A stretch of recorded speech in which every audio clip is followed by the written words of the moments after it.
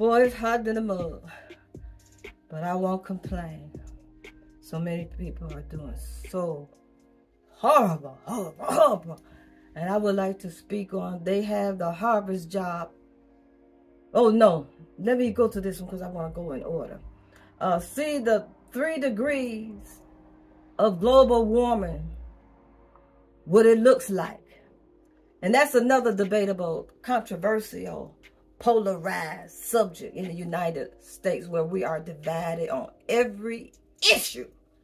They got it going on because we're so divided. They can do anything they want to do with us. We down here arguing about everything. Fighting each other. Why they screwing us? So I believe in uh, global warming. They call it now climate change to make you think it's the weather. But why is the weather like that? It wasn't like this before. You know,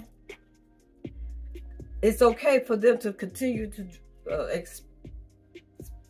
expel all this, these fumes from these private jets. But, but during this time, there was no carbon dioxide being uh, released into the air.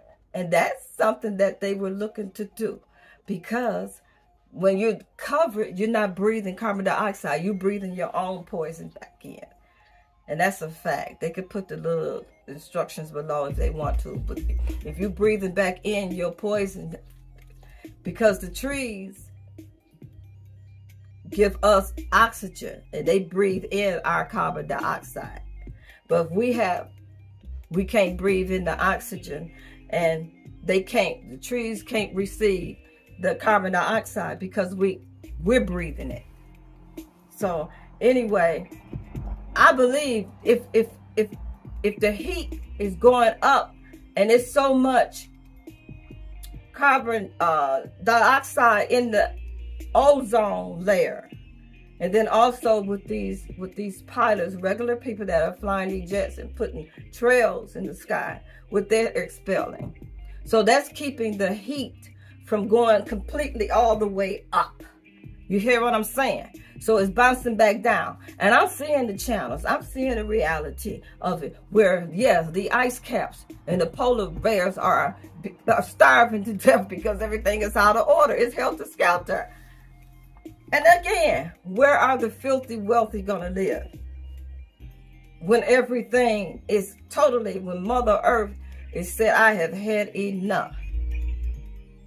And it's like trying to clean up that wet red paint there's so much blood in this earth. And nobody cares because it's the way of the world here. And so that's what's going on with this global warming. I believe. I really don't have no true facts, but I believe the documentaries that I see.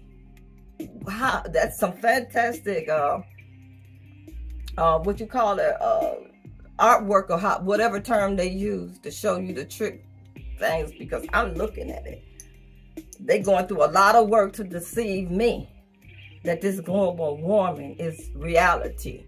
And again, where are the filthy rich? They, they children, them. Where are they going to live? Everything is utterly destroyed. You could tear it down so you could build it up because that's what you're doing. Tearing it down so you could build it up anew. You're tired of all this old shit. But if the air and the water and, and the, the food, you know, people not into the uh, lab grown meat. They're just not going to do it. But these new generation, what you call it, Gen X, Y, and Z. So what's coming next?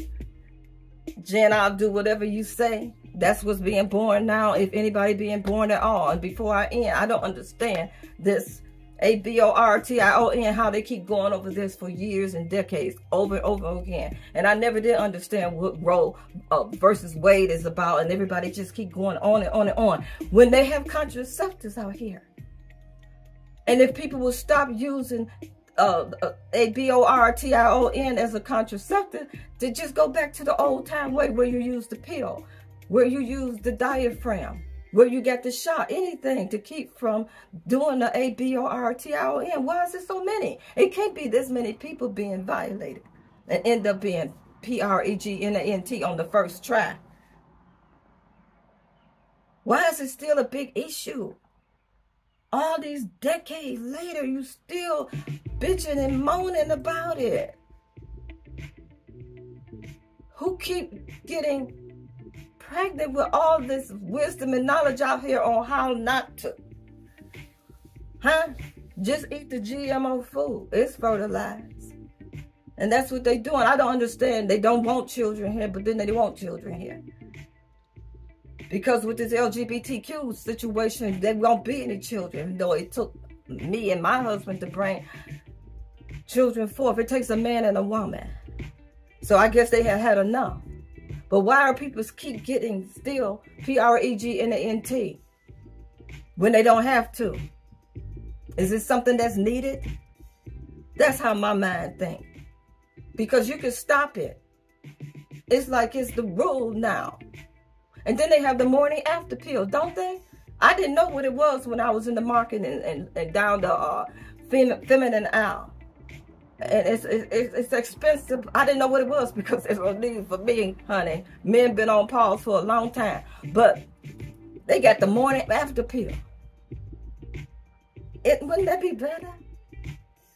And the diaphragm, I remember the diaphragm, you got to remember to take that sucker out because if you forget, you talking about, ooh, child. You got to remember, ladies, if you know what I'm talking about. But that works too. Anything to keep the sperm from beating the egg. Don't that make sense? You know, proact. Proactive, not react. They got that morning after pill. That's all I'm saying. So I'm going to end. Thanks for tuning in and listening. This is the last one for today. And they're rather long. So like, share, leave a comment, subscribe. Thanks for tuning in.